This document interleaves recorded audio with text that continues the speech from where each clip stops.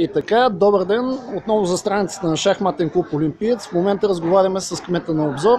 Ще го помоля за няколко думи за тази годишния турнир, неговите впечатления и един кратък коментар просто да направи. Здравейте!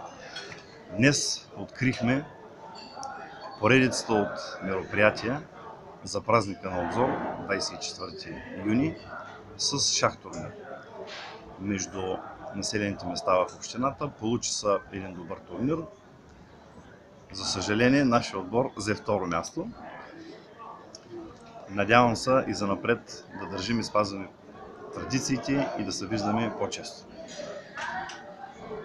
Така, само искам да попитам до година да очакваме ли отново шахматен турнир тук в обзор и на коя дата евентуално ще бъде? За дата не мога да кажа от сега, но винаги, всяка година, по стара традиция, както казах, започваме нашите празници с шах турнир. И тази година ни изменихме на себе си.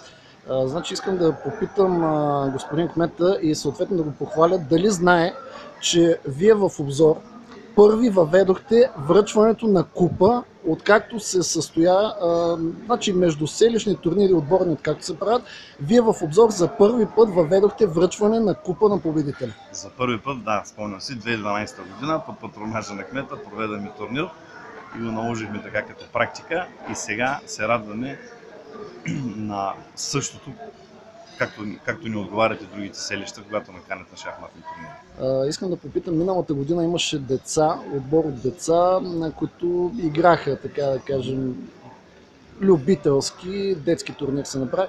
Тази година защо нямаше деца? Това е причината. Причината е, че събираме са възрастни да... Турнир за възрастни, а децата имат междушколни занятия и се правят турнири помежду си, ходят по Несевър, по Бургас на шахматни турнири и тук ни е много интересно, общо взето казвам. Добре, значи аз благодаря на кмета на обзор, пожелавам му успех във всички начинания и все така да организира шахматни турнири. Благодаря ви, всичко добро и на вас. Това бях аз, Даниел Иванов, за страницата на шахматен клуб Олимпиец Работа.